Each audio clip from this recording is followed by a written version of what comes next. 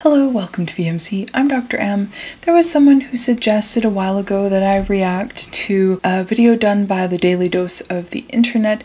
It's apparently supposed to be some of the best dog videos online, which makes me nervous.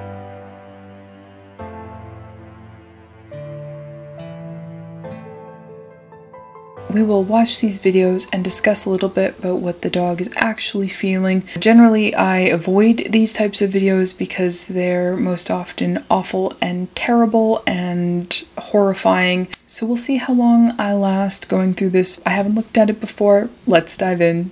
These are the best dog videos from the past 10 years. Now it says no people or animals were hurt. I don't like seeing that at all because often people are terrible judges about whether animals are scared or hurt. Uh, so I'm nervous from the get go. Let's see what happens. Running on slippery. Oh my goodness. Yeah, that hurt that dog. That dog is scared and hurt right now. Its ears are back, its face is terrified, its tail is tucked. I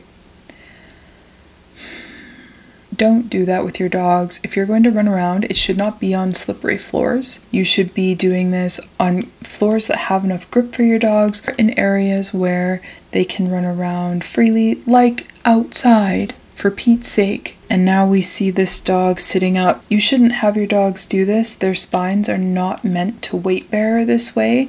Just don't teach this to your dogs. It, it's bad for their backs. Don't do it. You know, we're on the second video and things are not going well. Stella, you want to go bang? You can teach your dog to flop over from a proper sit or from a stand. They don't have to be sitting up on their haunches like that in order to do that trick. Oh no, that dog's gonna be so hurt. If you know that your animals have a tough time with glass, you need to be putting stickers on the glass so that they know where the glass is and where the door is. This also helps to prevent birds from dying on your windows. That dog's neck and head could have been severely injured. Like, that's a horrible video. And now we have another dog running on slippery floors. What is it with people? No animals were hurt, it says again. Why do I not believe him?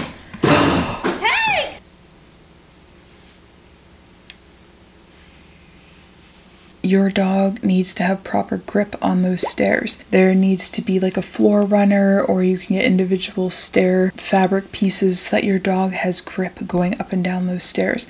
That is going to hurt that dog.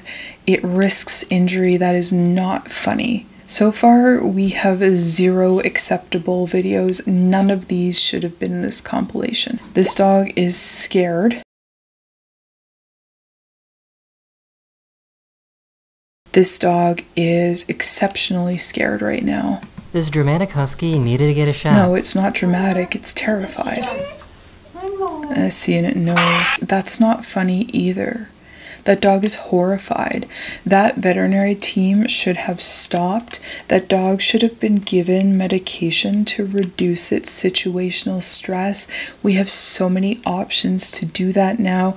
Most commonly, we use things like gabapentin and trazodone together. And if the dog is still scared, then when they get to the clinic, they should be given one injection that essentially means that they won't remember or recall anything of the rest of the appointment because they are sedated instead of what they just did there because now this dog is going to resent restraint. This dog is going to panic for all injections in the future.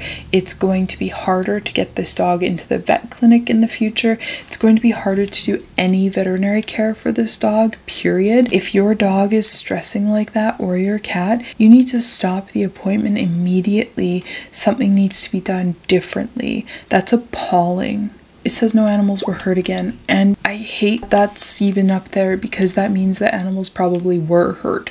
Like so far we've witnessed many animals getting hurt. I'm scared to see what happens here.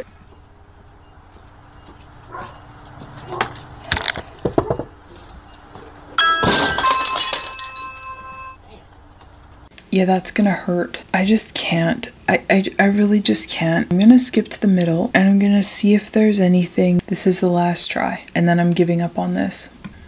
No one is Carrying here. the dog. No one. See? Look.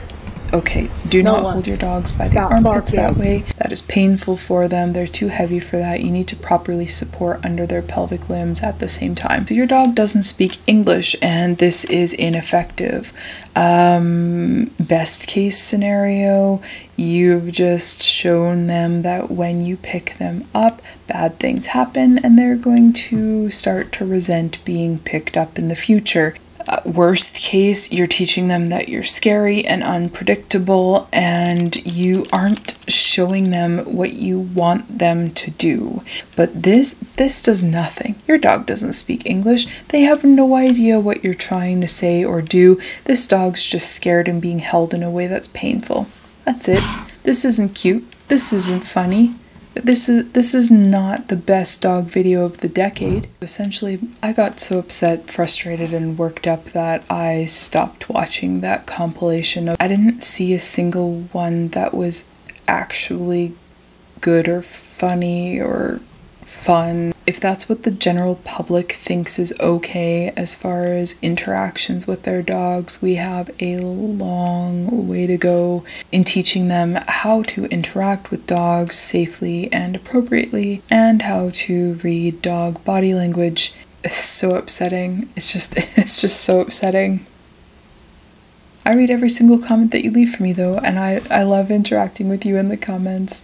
If you have another topic you'd like me to cover, don't hesitate to comment that down below as well. I love getting ideas from you all about what you're interested in learning about. I hope that you have a wonderful week, and I will see you in the next video. Bye! This is just torture for me, and sharing these videos, like, what, do people think this is funny? I don't get, it's not funny.